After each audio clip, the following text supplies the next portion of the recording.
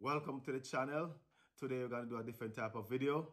We're going to be a little pan-Africanist today. Um, we're going to interview uh, more like a collab interview with a sister from um, Uganda. So stay tuned.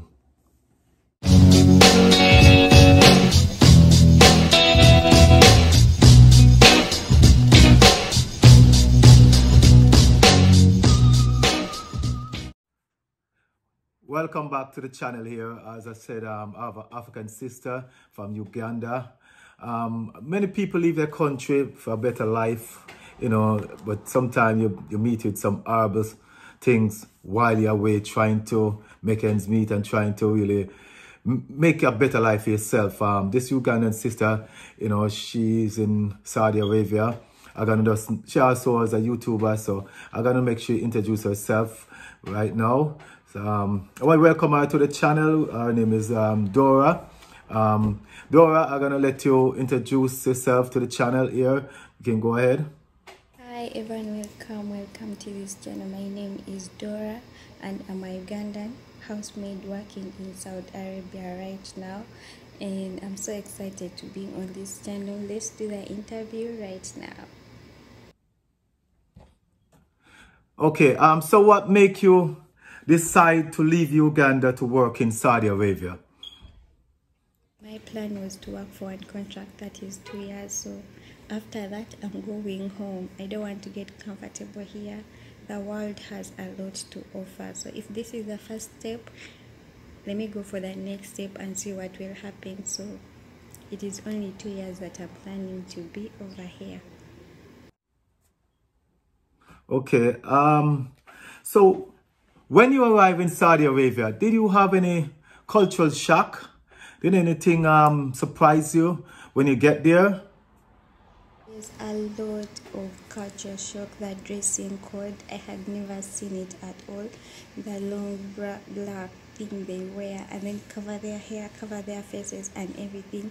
And the food, I didn't know people would eat rice every single day. That is not so East African where I come from. So that shock was too too much and the Arabic language Okay. is very very hard. It all just shook me, but you know I'm picking on. I'm getting along with everything.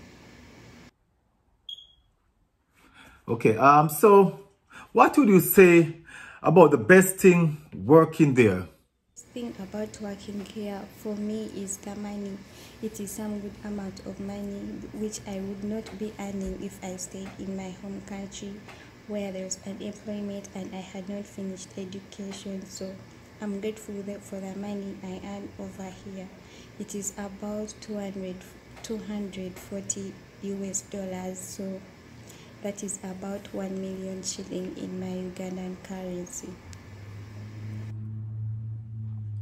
And um, let me ask this. And what the worst things? Oh my god. I don't know. Um the worst is that you know you just have to wait for your contract to end and go home. There's not a lot of freedom over here because we are females and we are a domestic worker.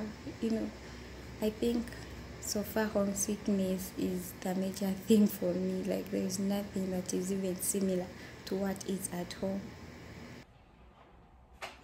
So let me ask you this. Um, what your, your, your duty consistent of?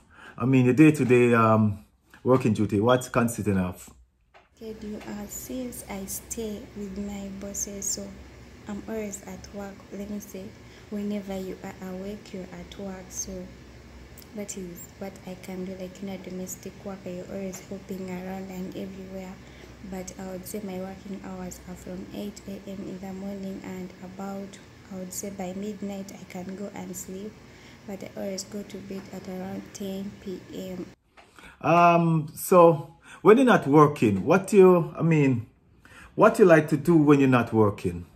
When I'm free, since I can't move around, since I can't you know leave the house and go anywhere, I always spend a lot of time on the internet. I think this is what most people do, especially if you're living outside your home country.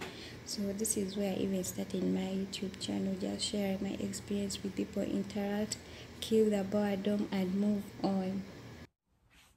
Um, let me ask you this. Um, would you recommend this type of work for any other African, uh, uh, uh, for instance, any person out there like wanting to do this type of work? Would you recommend uh, a type of job like like what you're doing now? Um, personally, I wouldn't recommend anyone. It is a lot of work, and it is really a great, a very big sacrifice that we make for our future, for our parents, for our countries. I wouldn't recommend anyone if you have any other way you can survive please stay in your home country and survive. I think that is what i can say about it. Okay um i mean any regrets uh anything like that? Um if you if you if you have to do it all over again would you do it? Wait no no no no no no no um like I said, do not get comfortable where you are. So I'm looking for greater places. I'm looking for greater things. So no way. Um. Okay. All right. Um. Um, your channel is um, Dear Dora. Anyway, Dora, I want to thank you for um, this uh, interview and thank for talking to me. And I'll be, and I want to tell people that you can subscribe to your channel. I'll be putting your your channel information in the description so they can go go to the description and they can find you and subscribe to your channel. Um, so once again, thank you for the interview. And um, that's it, folks. Um, don't forget to subscribe, like, and also go to our page and support our sister. Um, till next time, peace. See you.